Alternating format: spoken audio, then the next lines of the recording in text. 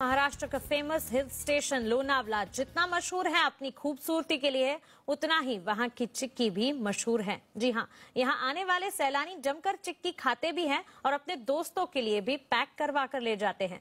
लोनावला में कई चिक्की वाले हैं और इनमें सबसे पॉपुलर ब्रांड है मगनलाल चिक्की। लेकिन हैरानी की बात यह है कि महाराष्ट्र एफडीए ने मगनलाल की चिक्कियों को सेहत के लिए हानिकारक माना है। देखिए रिपोर्ट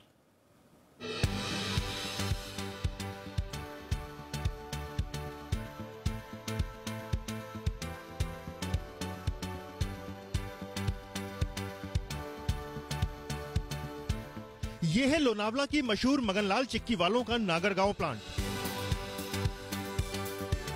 यहाँ रोज़ाना 2000 किलो से ज़्यादा चिक्की का उत्पादन होता था, लेकिन मंगलवार से यहाँ चिक्की बनना बंद हो गई है।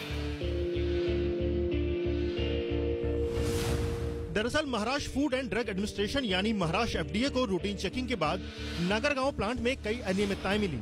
एफडीए का कहना है कि प्लांट में लंबे वक्त से सुरक्षा और स्वास्थ्य मानकों की अनदेखी की जा रही थी। चिक्की बनाने वाली जगह बेहद गंदी थी।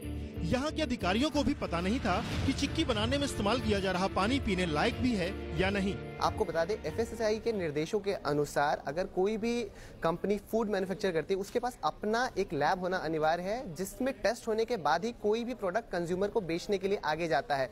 मगर उसके पास ये लैब भी मौजूद नहीं थी, वहीं वैसे लोग भी मौजूद नहीं थे जो उसको टेस्ट कर पाए।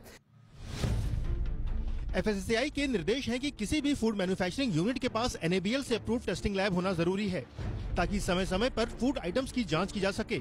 लेकिन लगभग 100 करोड़ के टर्नओवर वाले मंगनलाल चिक्की के पास न खुद की लैब थी और न ही यहाँ बनने वाली चिक्कियों को दूसरे किसी लैब में भेजा जाता था।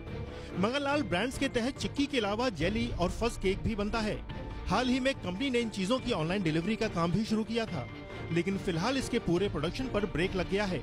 और जो पानी का इस्तेमाल किया जा रहा था उसके बारे में भी जो अधिकारियों को जानकारी नहीं थी कि पीने योग्य है भी या नहीं है जिसकी वजह से एफडीए ने पुणे एफडीए ने जो मंगलदास की चिक्की है उसको ट्यूसडे से ही बनाने पर रोक लगा दी है। जाँच के बाद महाराष्ट्र एफडीए ने नागरगांव प्लांट से चिक्की बनाने और बेचने पर रोक लगा दी है। और कंपनी को जल्द से जल्द सभी कमियों को दूर करने को कहा है। लगभग 100 साल पुरानी मंगललाल चिक्की प्लांट में कमियाँ पाए जाने के बाद अब एफडीए लोनावला के सभी चिक्की बनाने वालों की जाँच करने की बात भी कह रही है। राहुल कुमार, जी मीडिया, लोनावला।